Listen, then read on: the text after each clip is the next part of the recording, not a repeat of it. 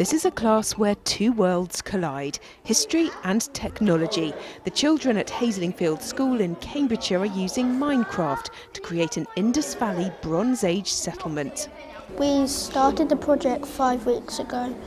Um, then Phil phoned up um, the archaeologist and said, uh, please could you come in? And he said yes.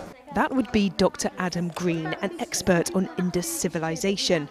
Did they have houses? Did they have, or did they wear shoes? These, these are the kind of questions I get. Instead of just saying yes or no, I say, well, this is what we found. And I've been quite delighted to see all the different directions they kind of go in. It's a massive virtual world of houses and wells and an awful lot of animals. So I chose 80 donkeys. They came coming down from the sky. Some fell on me and some didn't. When I made the roof on my Bronze Age village, it took it went a bit lousy and then went all over the place. Designers and builders side by side. This is proper teamwork.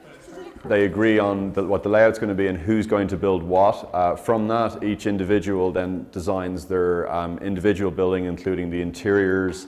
And once they have that done, then they come in and they implement it in a common world your hands get sweaty because you're clicking the same button after loads and loads and loads.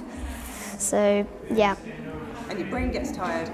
Yeah, because you're like, this goes there, this goes there, but where does that go? Uh, and you're like trying to figure everything out.